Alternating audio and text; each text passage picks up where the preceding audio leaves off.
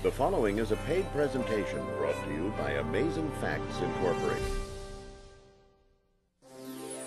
Coming up next on Amazing Facts Presents anything that you do for any creature, for any person who is hurting to relieve their suffering, you've done something to lighten the load of pain that God feels in this world.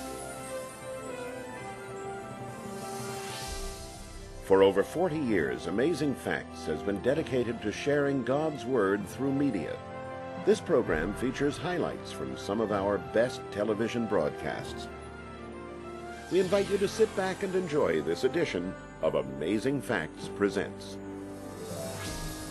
Today's presentation is an excerpt from the Sacramento Central Study Hour video series.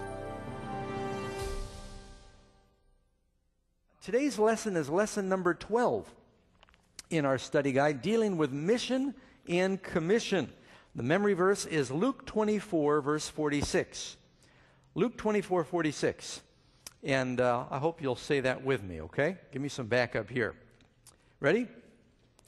Then he said to them, Thus it is written, and thus it was necessary for the Christ to suffer and to rise from the dead the third day.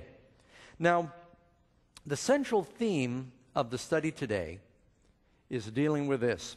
What part do works of charity have in the life of those who are disciples?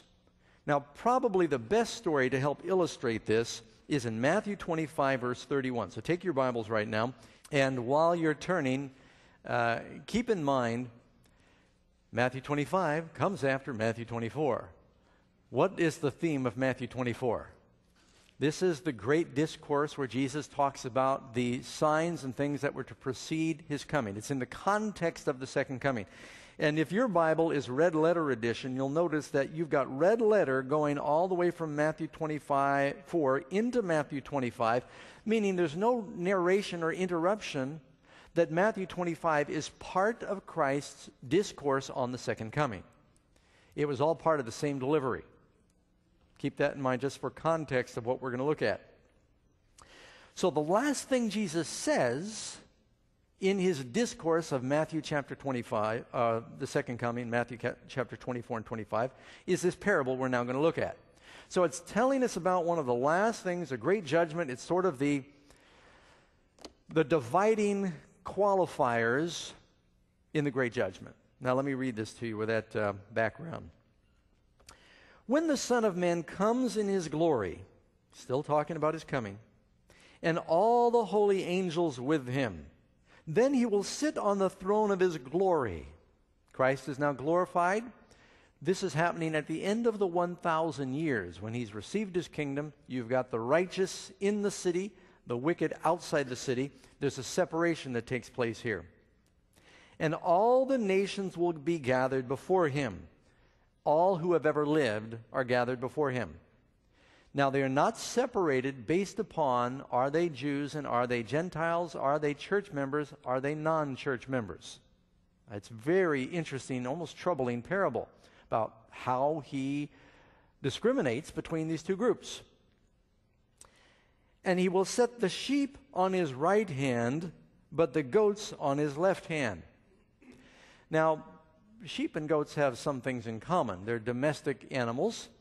And when they, shepherds sometimes might graze them together, and they were preoccupied with eating and they'd get along, but uh, they would not put them in the fold together because they, the, the goats had a tendency to take advantage of the sheep and uh, were a little more violent. They were commingled for a while while they were out there in the field, but then at the end of the day, they're separated. So this was an analogy that uh, the listeners were well familiar with. This is a type of the great judgment. And the king will say to those on the right hand, now in the Bible, what does the right hand symbolize? Favor, approval. The son of my right hand would be favor. Left hand also uh, often represented something that was rejected. Usually, the right hand was your hand that you favored for most people. And so it became synonymous with the hand that you favored. Also, it was stronger. Most people are right handed. If you're right handed, your right arm is usually stronger than your left arm. You will be able to hang from your right arm longer than you can hang from your left arm. And so the right hand represented strength, it represented favor. And so when he separates the goats and the sheep, sheep are on the right hand, a place of favor. I can't prove it, but in my mind, the two thieves that were crucified, one on the right hand, one on the left, when Jesus was crucified, one is saved, one is lost.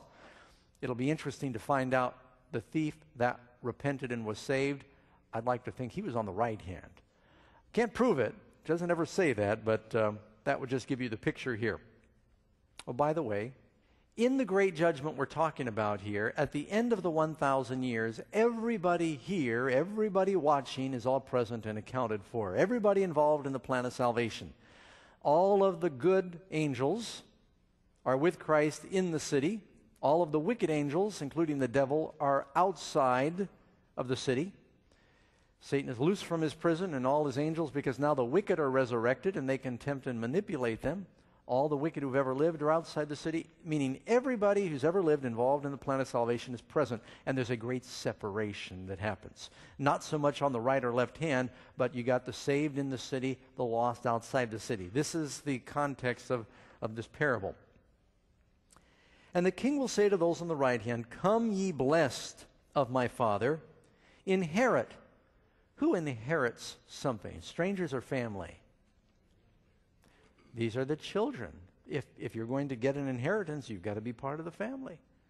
As many as received him, to them he gave power to become sons. So by receiving him, he adopts us. We become children. We inherit something. The others are not uh, receiving this inheritance. Come ye blessed of my Father, inherit the kingdom prepared for you from the foundation of the world.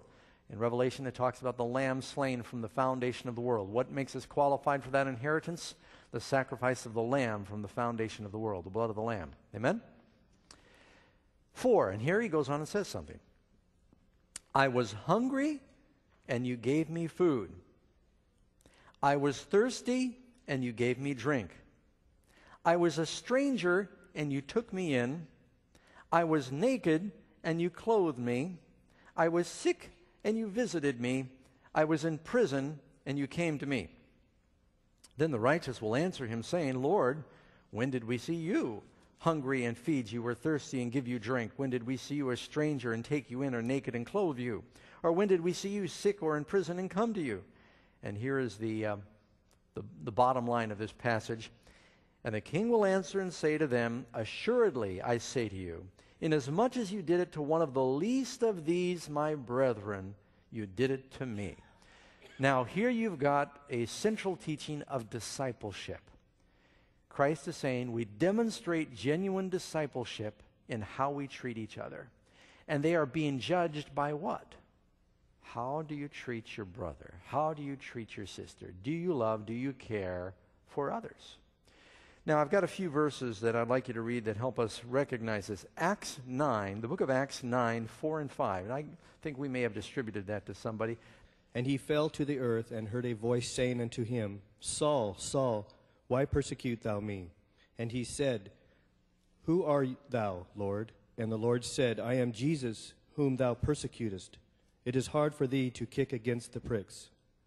All right, this takes place after Saul has been an accessory to the stoning of Stephen, and he is now on his way to arrest the followers of Jesus. Jesus appears. Was Saul arresting Jesus or his followers? It wasn't Jesus physically. Was he persecuting Jesus or his followers? Well, technically his followers, but how does Christ view it? He says, I am Jesus who you are persecuting. In doing this to them, you're doing it to me. So that establishes a principle that's very real. What we do to one another, we directly do to Christ. I was going to say indirectly, but not really. Because the church is the body of Christ. And we show our love for Christ in how we treat the lost. And so, what we're doing to our fellow man, made in the image of God, we are doing to the Creator of our fellow man. It's very real. Now, we've talked about his passage to the righteous. Now go to verse 41. Then he will say to those on the left hand, Depart from me, ye cursed, into everlasting fire prepared for the devil and his angels. This is that fire spoken of in Revelation 20. The devil and his angels are cast into this lake of fire, which is the second death. The results of this fire are everlasting. There is no resurrection, there is no second chance from this fire. Depart from me, you cursed, into the everlasting fire prepared for the devil and his angels. For I was hungry, and you gave me no food. I was thirsty, and you gave me no drink. I was a stranger, and you did not take me in. I was naked, and you did not clothe me. I was sick and in prison, and you did not visit me. Then they will answer him and say, Lord, when did we see you, hungry or thirsty or stranger or naked or sick or in prison, and not minister to you? He answered and says to them, Assuredly I say to you, inasmuch as you did not do it to one of the least of these, you did not do it to me. And these will go away into everlasting punishment, but the righteous into eternal life. Wow, that's heavy. Let me tell you why. What is the criteria that is being used in this judgment? Is it the sinners go into eternal life or eternal judgment and the righteous into eternal life? Or is it those who have neglected to love their fellow man? Uh, let me make that more clear. You've got two kinds of sin. Really, you've got the sins of neglect, they're called sins of omission, and then you have sins of commission. When the man fell among thieves on the road from Jerusalem to Jericho, and the Levite and the priest walked by him, they did not beat up the man or steal from him. They did not rob him and wound him. They just walked by. They didn't lay a hand on him. Doesn't say they said anything to him. But did they sin? What was their sin? A sin of commission or a sin of omission? It was a good duty they neglected to do. When we think of the Ten Commandments, it says, Thou shalt not kill, thou shalt not steal, thou shalt not. And as we go through the Ten Commandments, we think, as long as I don't commit these sins, then I'm holy.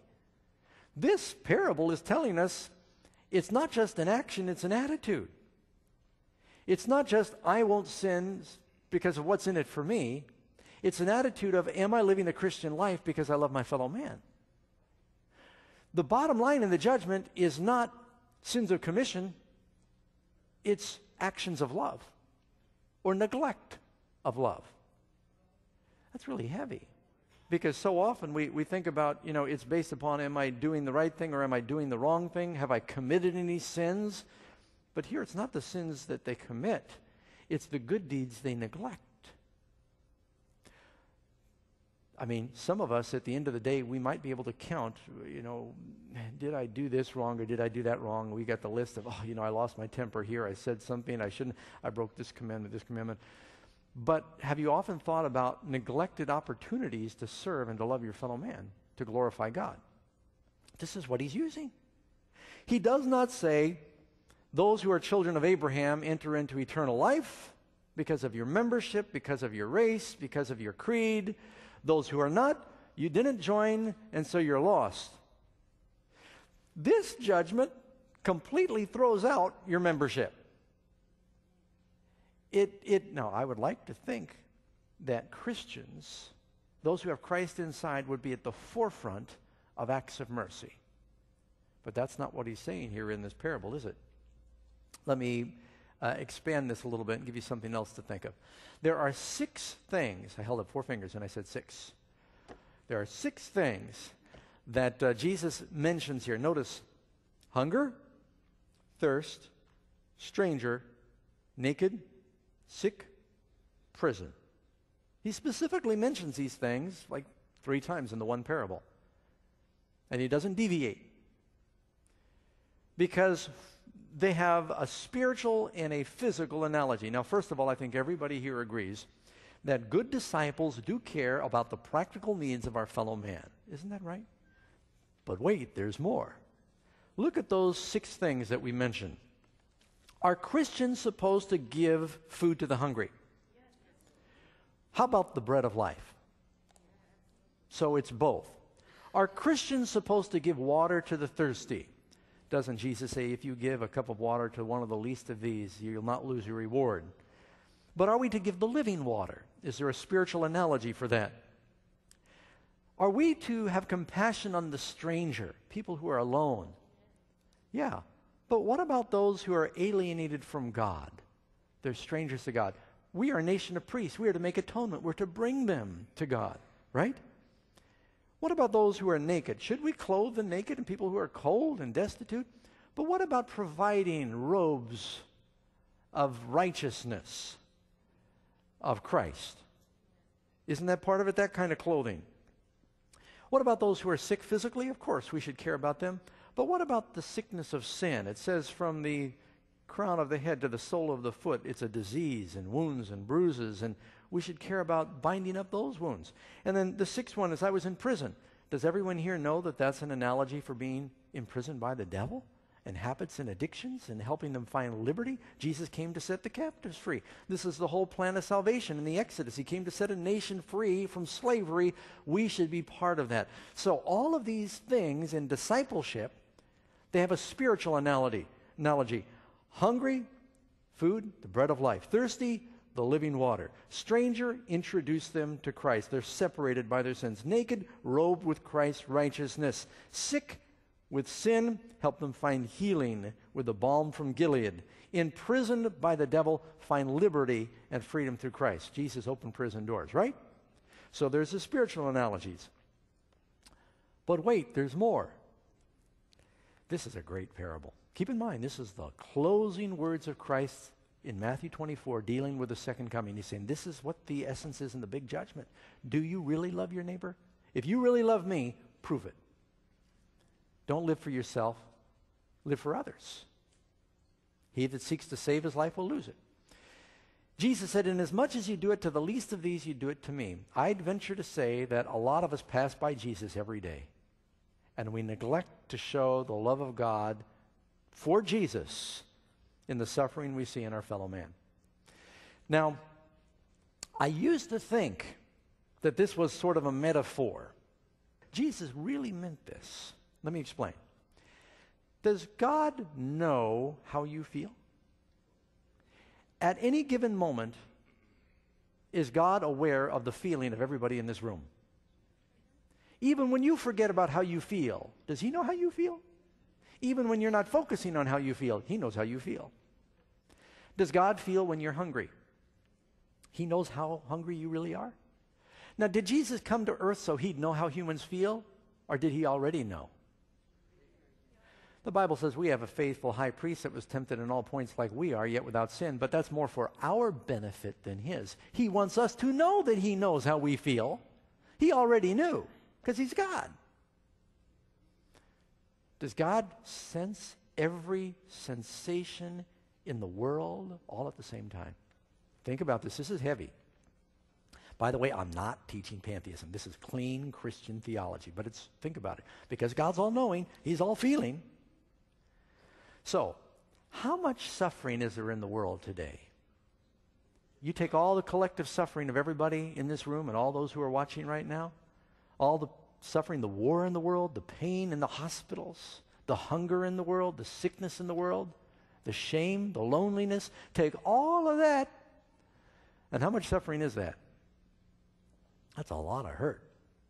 I mean, you and I can't comprehend that anything that you do for any creature, for any person who is hurting to relieve their suffering, you've done something to lighten the load of pain that God feels in this world. Isn't that true? Does the Lord know when someone starts feeling better? And anything you do to make a person feel better, God senses that because he feels everything. Is that this is straight so far? Now, this is where I think I'm taking it down to what I think is the most important part of this passage. Why did Jesus die? Didn't he die for the sins of the world? To take the penalty of sin. Did Jesus just die, at, or did he suffer first? Christ, in these six points, identified what he went through on the cross, how he took the suffering of the whole human race and the sin, and the loneliness, and the sickness, and the hunger, and the thirst. He took it all in the cross. So, if you love Jesus because he took all your pain, if you're a real disciple of Jesus, anything you do for your fellow man to bring them the bread of life or literal bread, to give them the living water or li- literal water to clothe them with the righteousness of Christ or to clothe their bodies. They may not be converted. Anything you do to relieve the suffering of man, that's what real discipleship is. Because you in your heart see that God senses that. And that's why Christ says, In as much as you've done it to the least of these, my brethren, you've done it to me. That's such an important teaching. So, as we go from this place today, how are we really disciples? We say we're members of a specific church, that means I'm a disciple? Is that what Jesus is going to use? You might be a goat. you could be a member of a church and just be a plain old goat. And let's all face it, some people who say they're Christians are goats. They're just ornery and stubborn and um, opinionated, and they do nothing to relieve the suffering of the world around them. All right, James chapter 2, verse 15. If a brother or sister is naked and destitute of daily food, and one of you says to them, Depart in peace, be ye warmed and filled, but you don't give them the things that are needed for the body, what does it profit? Thus also faith itself does not that does not have works is dead. A lot of us say we go to church and we believe and we pray, but we walk by and walk away from people who have basic needs and we just don't seem to care. Let me read this for you. Closing words of Jesus in Mark 16, verse 14. Later he appeared to the eleven as they sat at the table, and he rebuked their unbelief and hardness of heart, because they did not believe those who had seen him after he had risen. And he said to them, Go into all the world and preach the gospel to every creature. That's sort of a broad term. He doesn't just say every person, he says every creature. You know, the only way we can preach the gospel to every creature is by showing the love of Christ to every living being. What kind of witness are you to your bird? I'm sorry. no, really, Christians should, we should show our religion even to the creatures. That's what he says. Preach the gospel to every creature. Now, you know another reason I think the, the word creature was used there? Because the Jews actually believed that Gentiles were dogs. And here, nobody could misunderstand the words of Jesus. Preach the gospel to every creature. He who believes and is baptized will be saved. Through your preaching, many will believe, not all. That's why he says, whoever believes. And then, of course, believing was connected with baptism. They'll be saved. That means that God delivers the keys of the kingdom to you, not that you decide who's saved and lost, except as you preach the gospel. Through your preaching the gospel, and how do you preach the gospel? How many preachers do we have here? Every disciple should have raised their hands. You Hear that? Preach Christ. And if necessary, use words. Everybody should preach Christ by our lives that we live, right? So everybody here, you're preaching whether you know it or not. People are watching too, when you least expect it. Where was I? Oh, and he says, uh, Whoever believes is baptized will be saved. He who does not believe will be condemned. So, what was it that disqualified them? Not being baptized or not believing. The belief was the emphasis here.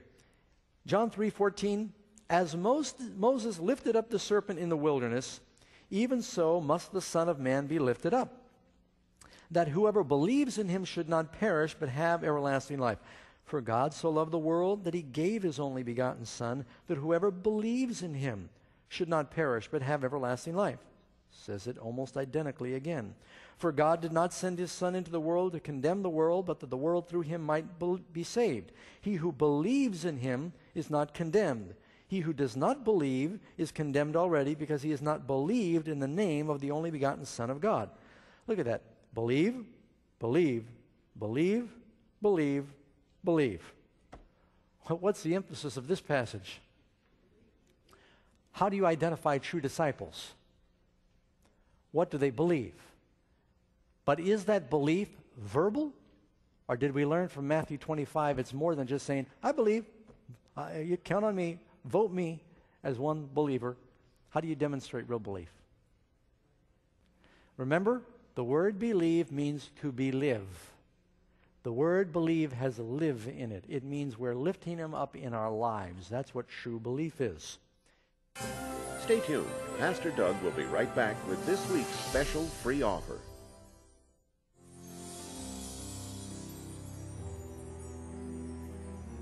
Do you love the Lord so much that if everybody in this church was to give up their faith, would you still keep it?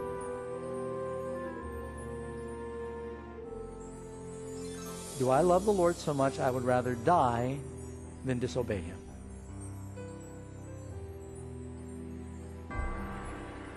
It's those who are studying now for the little quizzes that will pass the final. World events have never been more unstable than today. Terrorism, disasters, bizarre weather. What does the Bible reveal about future events? Learn the amazing answer in this stunning documentary entitled The Final Events of Bible Prophecy. During this special broadcast, you can get your very own copy of this gripping DVD. You pay only $15.99 for shipping and handling. Go to the phone and call the number on the screen. Don't miss out on this special offer. If you've been encouraged by today's message and would like to know more of what God's Word says to you today, Amazing Facts invites you to visit our educational website at www.bibleuniverse.com. At Bible Universe, you'll discover exciting truths that will fill you with peace and purpose. The mysteries of the Bible will unfold for you at your own pace. Visit www.bibleuniverse.com today. Expand your universe.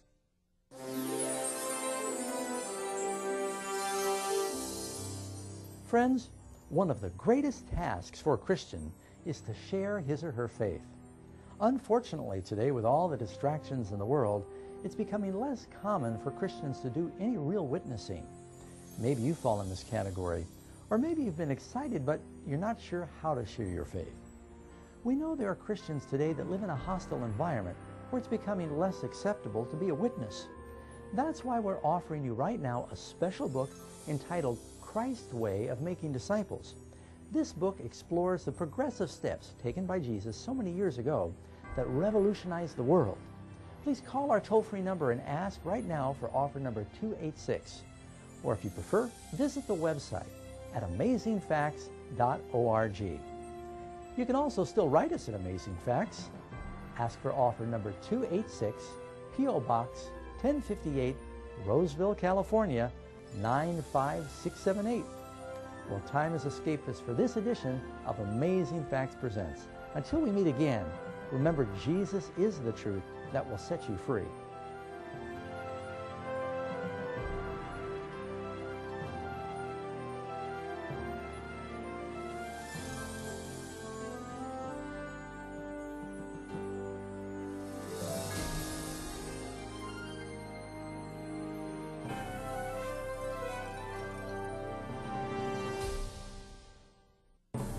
Preceding was a paid presentation brought to you by Amazing Facts Incorporated. Now, the central theme of the study today is dealing with this. What part do works of charity have in the life of those who are disciples? Now, probably the best story to help illustrate this is in Matthew 25, verse 31. So take your Bibles right now, and while you're turning, uh, keep in mind Matthew 25 comes after Matthew 24. What is the theme of Matthew 24? This is the great discourse where Jesus talks about the signs and things that were to precede his coming. It's in the context of the second coming. And if your Bible is red letter edition, you'll notice that you've got red letter going. The following is a paid presentation brought to you by Amazing Facts Incorporated. Coming up next on Amazing Facts Presents Anything that you do for any creature, for any person who is hurting to relieve their suffering, you've done something to lighten the load of pain that God feels in this world.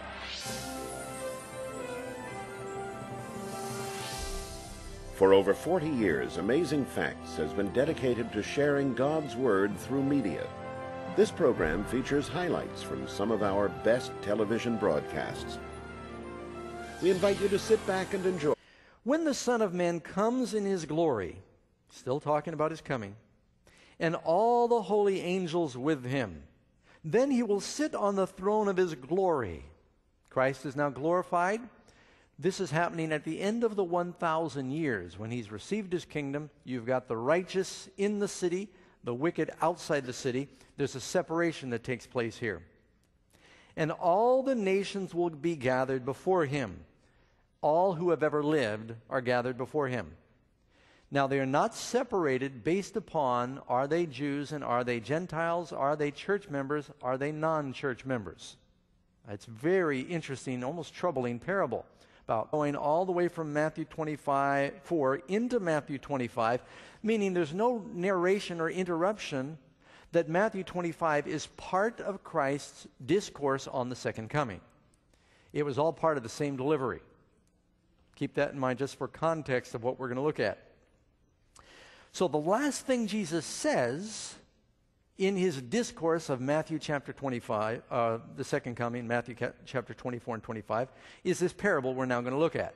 So, it's telling us about one of the last things, a great judgment. It's sort of the, the dividing qualifiers in the great judgment. Now, let me read this to you with that uh, background. This edition of Amazing Facts presents. Today's presentation is an excerpt from the Sacramento Central Study Hour video series. Today's lesson is lesson number 12 in our study guide dealing with mission and commission.